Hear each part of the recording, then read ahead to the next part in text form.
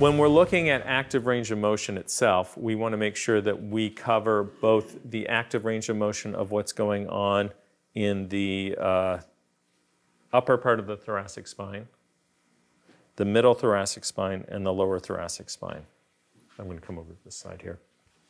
So if we want to assess the active range of motion for the upper thoracic, because we know there's referral patterns here that can come from the cervical spine, we also know that the thoracic spine itself can move based on that. We can use head rotation with overpressure and turn the other way and overpressure to see if that reproduces pain.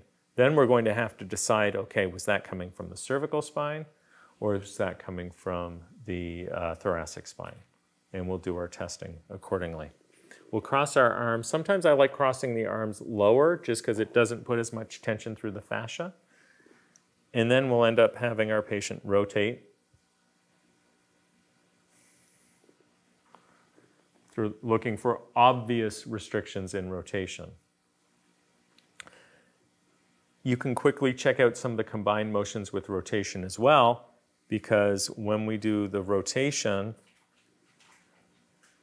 the conjunct mobility is to the same side if we initiate with rotation. So that's called rotation. Or you can side bend and the rotection goes to the opposite side. So that's latection. Looking for pain reproduction, obvious restrictions.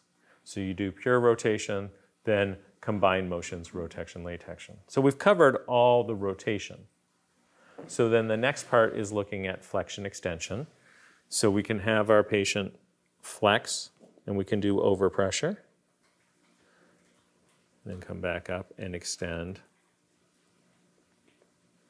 Two finger overpressure, seeing if that's causing any pain in the interscapular area.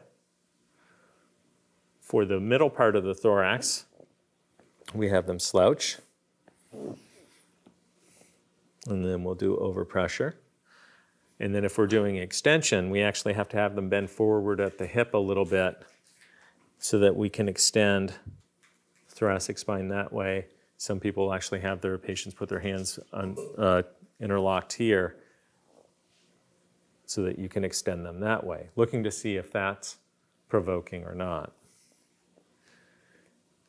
There are times when we want to have the patient in standing to take a look at some of the rotation as well, or also to look at lumbar mobility in flexion extension like we looked at with the modified Schober's.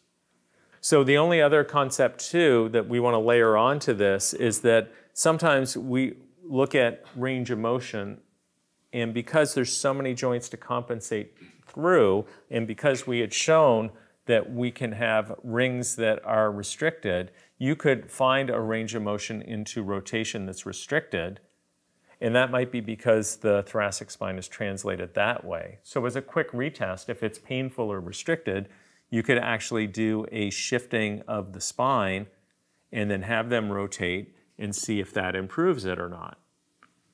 So you can play around with the rings a little bit, but you don't want to get bogged down in your assessment as far as then all of a sudden you're with the rings and then you haven't done reflexes, you haven't done this, that, or the other thing. But you could do a quick test retest, or if not, at least put it in your head that once you're done making sure the patient is safe and appropriate, then you'll come back and check to see if, if there's a ring displaced one side or the other.